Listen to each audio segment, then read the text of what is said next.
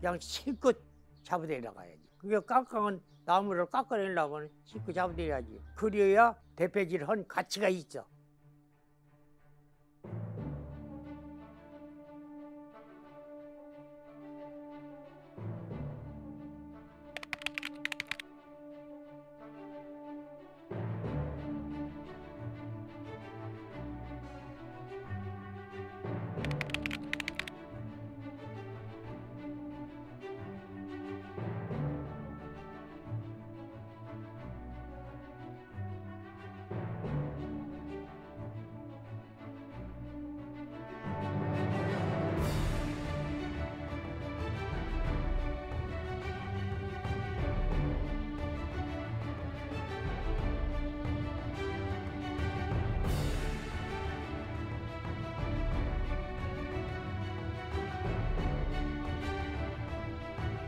알아?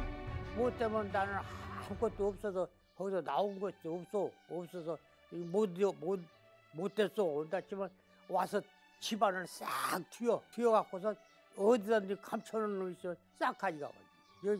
그 사람은 죽든지 살든지 개 취급하더니 있다.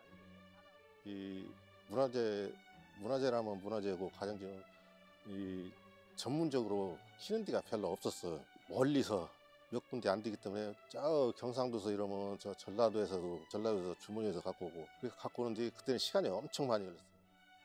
무슨 집을 지려면은 그 사람 짓는 걸 구- 와서 구경하고 보고 또 보고 다른 사람 구경 보고 그걸 보고 자기 늦게 내려 해갖고 건물을 지어들라고 정탁이 와요. 보통 그냥 그냥 와서 해달라는 것이 아니라 다 그 사람 뒤를 파보고 어떻게 저 사람 일이 어떻게 하고 있는가를 그걸 다 어느 정도는 파악하고 집을 지어달라고 그래요.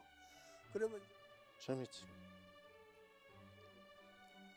아니 그냥 재밌어. 그냥 왜 재밌는 게 아니라 하고 맞추는 그 과정. 아 해갖고 착착 맞고 잘 맞고 또 안 맞으면 그또 짜증 나잖아. 왜 틀렸는가? 그러면서 또 한가 배우고